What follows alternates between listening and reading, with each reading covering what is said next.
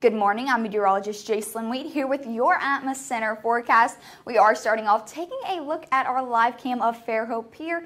It is a beautiful morning. The sun is shining, leaving a nice reflection on the parking lot, and we have a light wind out of the north. Right now in Mobile, we are currently sitting at a temperature of 56 with sunny skies, and we have sunny skies throughout the whole southeast today. So you want to go outside and take advantage of it. Look at these weather words clear, pleasant, and nice.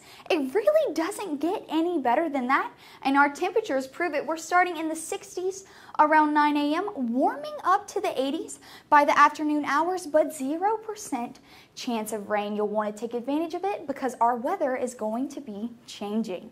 Temperatures right now 49 in Lucedale, 56 in Mobile, and 50 in our more inland communities. Now our dew point's a little bit high for today, so it is getting a little muggier outside. 50 in Milton, 51 in Mobile, and 44 in Hattiesburg.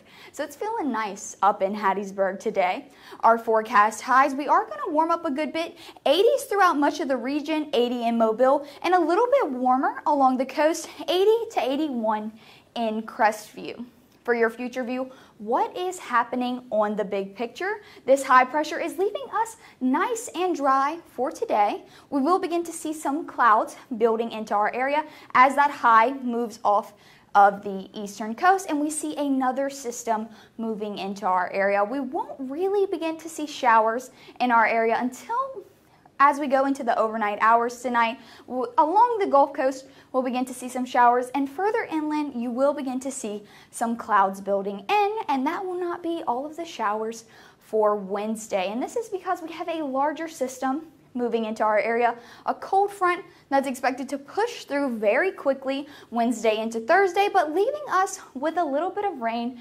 disrupting our wonderful weather that we've been having. Currently in Mobile for your three day forecast, a beautiful day today, but as we head further into the week, those rain chances increase on Wednesday and Thursday. But that cold front moves through very quickly, leaving us high and dry as we head into the weekend. Thank you.